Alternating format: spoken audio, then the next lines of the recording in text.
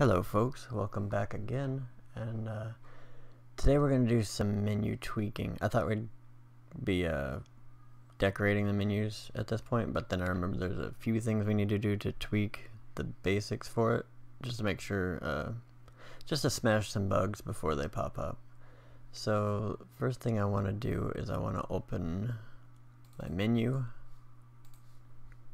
inventory screen,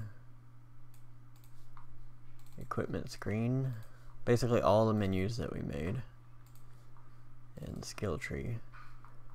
Because on this button, we want to go to its event, and at the very end, we want to set we want to drag out our player reference and set menu open and set that to false because the menu is no longer open. And what we can do is just copy that. You can, if you select more than you mean to, you can control click things and it'll highlight or deselect things. So I'm going to copy that, control C to copy it, go to my inventory, oh, I'm going to compile real quick. Go to my inventory screen, the graph, at the very end, just paste it in. Since they're all the same, they already have the player ref set up. So all I gotta do is paste it in. Compile, crafting screen, graph, control V to paste it in. Compile, craft skill tree. Had I thought about it at the time, probably something I should have set up when we set up the base one, but quick fix. So one more thing we need to do is I need to find my player, right click, open edit player BP, and I want to just remove all of this. Because otherwise later on it can have a double spawn issue to where you open the menu, click, and uh, click different menus, and if you hit M again on the keyboard it can open up it again. So we don't want that to happen. So I'm to save all that real quick. And now what I want to do is in the main menu, I want to hit my first button, scroll all the way down, and do an on-clicked event.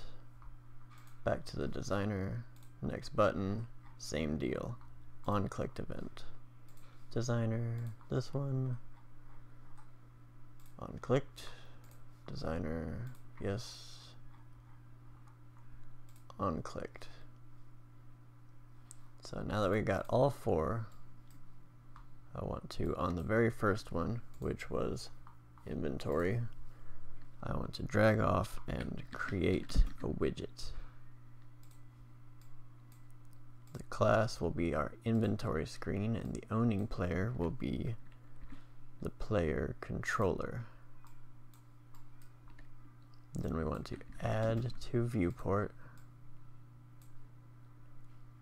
and remove from parent and leave that set to self so that it just takes this widget off screen to make room for this one. So compile that real quick and you can copy all this with control C, control V to paste.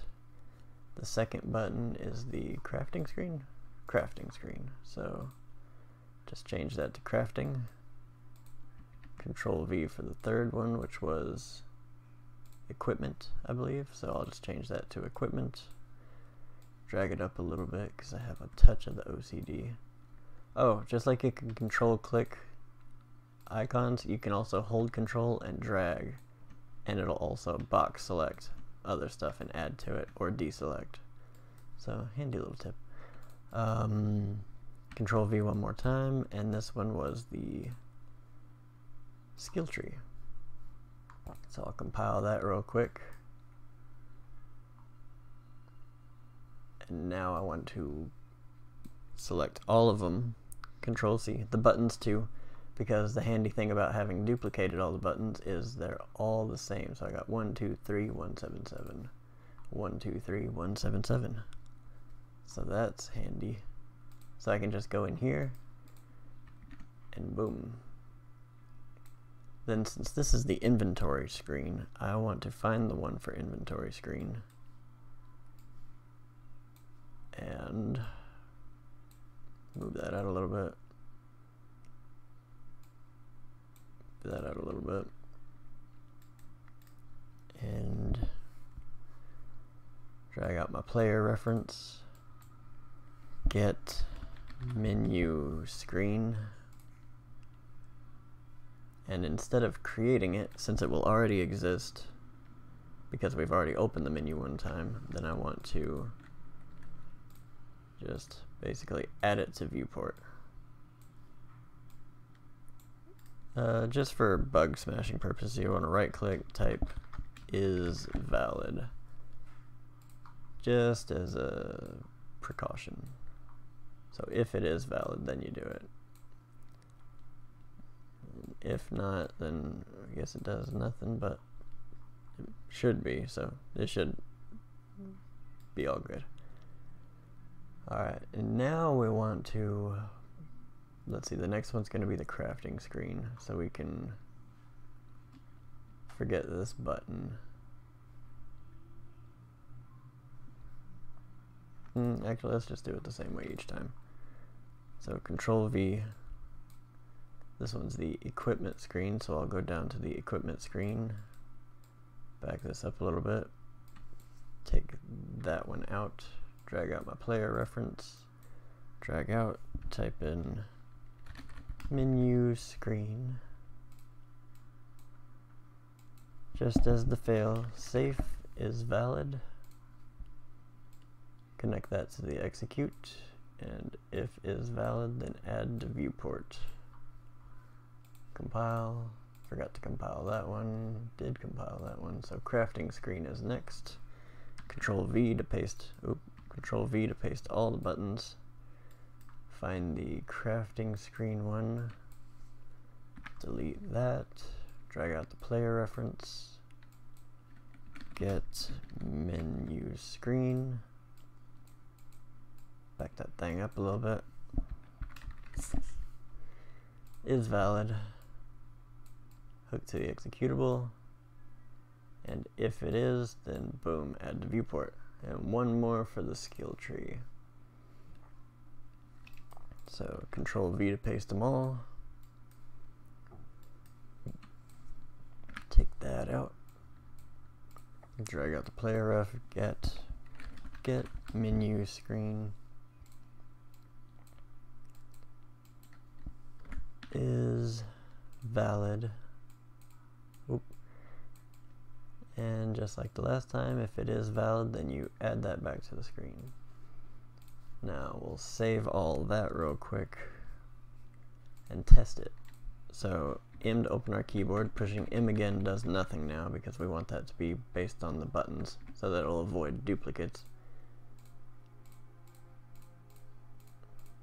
There we go. So now we'll be able to open each different menu screen. You can tell because the button changes and then when we click it back it goes back to the one it's supposed to. So that's nifty. The next few will be going over the decorative style of each menu and I wanted to show something to y'all. So there's this software called Krita or Krita Krita. I have no idea how to say it but it's super cool and it's super powerful and it's super free so just an example. See, all I had to do was go to Google, type in Krita, and it takes you straight to it. And it's a pre, oh, free, professional grade, open source painting program made by artists that want to see affordable art tools for everyone. So shout out to those artists. KDE, y'all's cool. And look, it's super powerful. Look, So it comes really in handy. I basically just use it for buttons because I'm not very artistic. Oh, I used I got the same one twice. Uh, but it's really cool. So if you're artistically inclined, this is a really awesome software for you know, just. I guess that was done in Krita.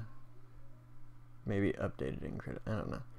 I don't know. It's super powerful, but it's also super cool. So just a little heads up in case you're looking for some way to beautify your things. But in the next few, we'll be going over more decorative style to make it look less plain. What was that?